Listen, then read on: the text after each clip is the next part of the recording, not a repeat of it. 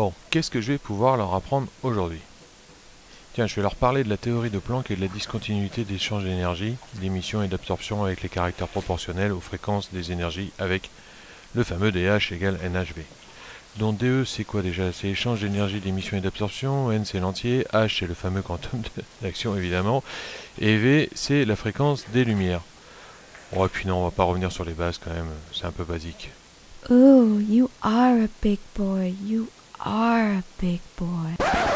Bon, qu'est-ce que je vais pouvoir leur faire cette semaine? Ah, mais attends. J'ai pas fait le truc de beauté là Est-ce que je fais sur le truc de beauté? Alors attends, attends, hop. Ouais, je pense. Non, non. Oui, hop. Et mince, j'ai déjà fait le truc de beauté.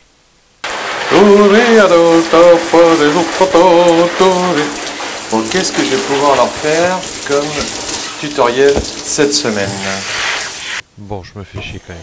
Alors, qu'est-ce que je vais pouvoir leur apprendre? Je sais pas une idée. Ah mais attends. Bien sûr, j'ai trouvé. Mais ça y est, c'est bon, j'ai trouvé.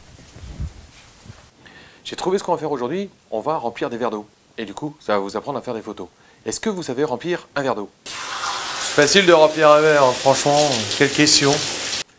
Euh, non, pas comme ça. Plutôt normalement. Est-ce que vous savez remplir un verre d'eau normalement?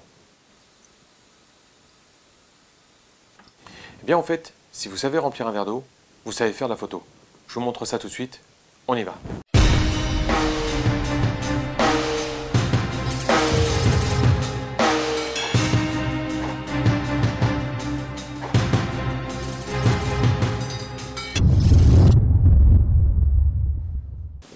Donc j'ai trouvé de quoi on va parler. On va tout simplement faire le premier cours photo au niveau de la prise de vue. Le but de la photo, c'est le but premier de la photo, c'est de maîtriser la lumière. Si vous ne maîtrisez pas en fait votre lumière, vous n'irez jamais loin en photo. La première chose à faire, c'est vraiment de maîtriser votre lumière. La composition et tout ça, ça vient après, il n'y a pas de souci, ça vient très rapidement. D'abord, il faut maîtriser votre lumière. Pour ça, en fait, vous avez ce qu'on appelle en fait le triangle d'exposition. En photo, il y a trois éléments de base qui vont vous permettre de contrôler la quantité de lumière qui va arriver sur votre capteur et donc en fait pour avoir la bonne lumière. Je vais vous montrer trois photos. Voici mon sujet d'aujourd'hui. Donc vous voyez c'est un petit éléphant comme ça. Je vais le mettre ici sur la table. Donc il est blanc d'un côté et noir de l'autre. Pour pas que vous soyez surpris sur les photos, il sera un peu plus blanc que, ce que le côté que vous voyez là, parce que moi je vais le prendre de l'autre côté. Je vais le mettre ici sur ma table et je vais prendre ma photo. Donc la première photo, ce que je vais faire en fait, c'est d'avoir la bonne exposition, donc pour avoir une photo correcte. Je me mets là, je cadre, je vais mettre de manière à ce qu'il me regarde un petit peu? Je vais cadrer ici correctement, je règle ici mon exposition, et voilà. J'ai fait ma photo, vous voyez sur celle que vous voyez ici, en fait que l'exposition est correcte. Maintenant, imaginons que je ne laisse pas mon temps de pause assez... Euh, enfin, disons que je n'ai pas un temps de pause assez long, donc je ne laisse pas mon capteur exposer assez longtemps à la lumière. Du coup, je vais avoir ce qu'on appelle une photo sous-exposée. Je vous montre tout de suite. Donc, par exemple, ici, j'ai diminué par deux ma quantité de lumière. Du coup, ici, je vais avoir une photo sous-exposée. Comme vous voyez ici, en fait, la photo est sous-exposée. A l'inverse, si je laisse mon temps de pause trop longtemps exposé, comme ici, je vais doubler en fait ma quantité de lumière, et eh bien ici, je vais avoir une photo surexposée, c'est-à-dire qu'il y a trop de lumière dessus. Hop, je fais ma photo, voilà, et voyez qu'ici, elle est vraiment surexposée. J'ai vraiment trop de lumière sur ma photo. Donc le but ici, ça va être de maîtriser le triangle d'exposition pour avoir la bonne lumière sur votre photo. Pour ça, souvent, on fait l'amalgame avec quelque chose qui va vous paraître peut-être un peu bizarre, c'est est-ce que vous savez remplir un verre d'eau avec un robinet? Alors pourquoi est-ce que souvent, en fait, on compare l'exposition d'une photo à, au remplissage d'un verre d'eau?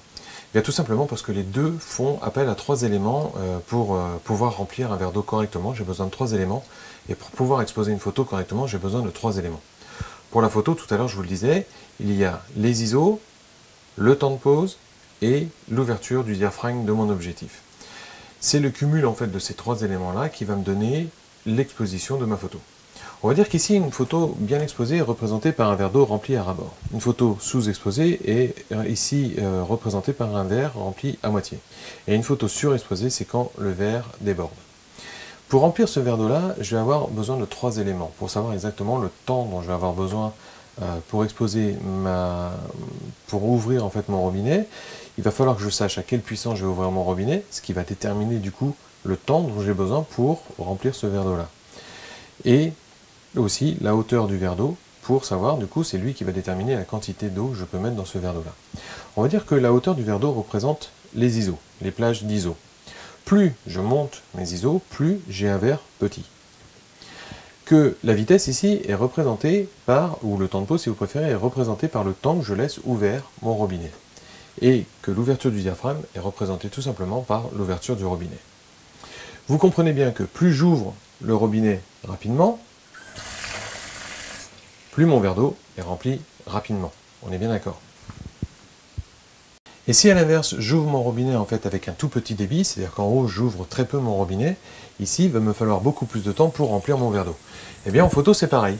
Si j'ouvre très peu mon diaphragme, il va falloir beaucoup plus de temps pour avoir la bonne quantité de lumière sur ma photo, pour la bonne raison c'est qu'il y a très peu de lumière à rentrer en même temps, donc il va falloir que j'ai un temps de pause plus long. Par contre, on l'a vu tout à l'heure, si j'ouvre à fond mon robinet, qui est représenté donc par le diaphragme photo, donc si j'ouvre beaucoup le diaphragme de mon objectif, la lumière va rentrer beaucoup plus rapidement, et du coup j'ai besoin de moins de temps pour remplir ici mon verre d'eau, ou sinon en fait pour avoir la bonne lumière sur ma photo.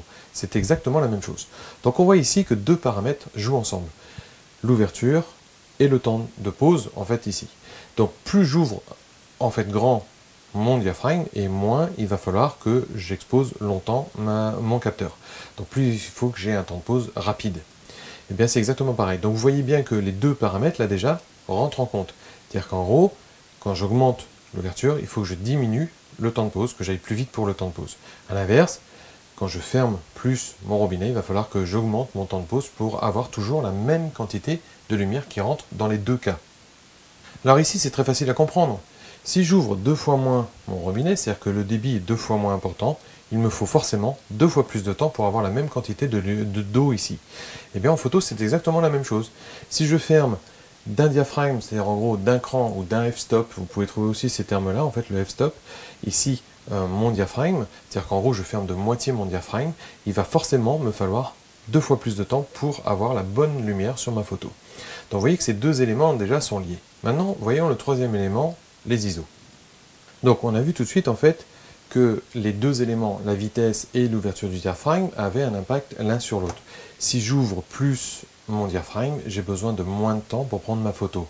Si j'ouvre par deux fois plus mon diaphragme, j'ai besoin de deux fois moins de temps pour prendre ma photo. Et eh bien ici, en fait, on va jouer avec les ISO. Imaginons que ce grand verre-là représente en fait quand je suis à 100 ISO. Et ici, quand je suis à 1600 ISO. Quand je suis à 1600 ISO, j'ai besoin de 16 fois moins de temps en fait pour avoir la bonne quantité de lumière avec la même ouverture que si jamais je suis à 100 ISO. Pourquoi? Parce qu'à chaque fois que je double mes ISO, je double ma lumière dans le même laps de temps avec la même ouverture.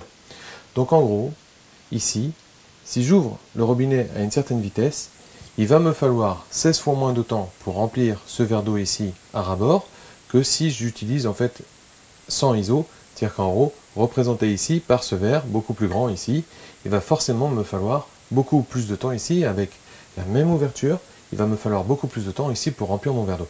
Eh bien, en fait, en photo, c'est exactement la même chose. Donc là, on voit que les ISO, tout à l'heure, jouaient sur la vitesse, euh, excusez-moi, l'ouverture jouait sur la vitesse, et là, on voit que les ISO vont jouer sur mon temps de pause. C'est-à-dire que plus je vais monter mes ISO, et plus je vais avoir un temps de pause court. À chaque fois que je double mes ISO, j'ai besoin de deux fois moins de temps pour prendre la même quantité de lumière, pour avoir la même quantité de lumière sur ma photo, avec la même ouverture, sans modifier l'ouverture. Voilà. Voyez ici, en fait, qu'il m'a fallu beaucoup plus de temps pour remplir ce verre-là que celui-ci. Pourquoi?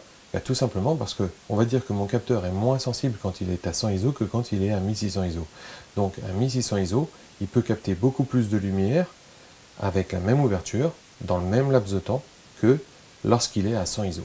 C'est ce qui est représenté ici par ces deux verres d'eau avec une taille différente. Donc, reprenons notre cours. Vous avez vu tout de suite avec le verre d'eau et le robinet comment on faisait pour maîtriser les trois éléments. Vous avez vu que plus j'ouvre fort mon robinet, plus il va falloir que je coupe rapidement en fait l'arrivée d'eau, sinon mon verre d'eau va déborder.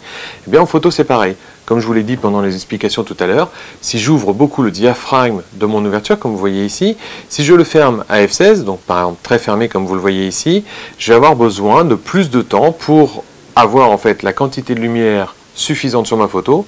Par contre, si je l'ouvre en F1.2, comme j'étais tout de suite ici, eh bien en fait, je vais avoir besoin de beaucoup moins de temps pour en fait avoir la bonne quantité de lumière. Pourquoi? Parce que tout simplement, si vous ouvrez beaucoup votre euh, objectif, forcément, il y a beaucoup plus de lumière à rentrer à ce moment-là. Alors pour ça, il y a deux choses en fait. Il y a l'ouverture ici qui se représente par un diaphragme comme ici. Et vous avez aussi, en fait, euh, entre ici votre diaphragme, vous avez ici derrière un miroir. Et encore entre le capteur et votre miroir, vous avez ce que l'on appelle un double rideau. En fait, le double rideau va fermer de façon étanche mon capteur pour pas qu'il prenne de lumière.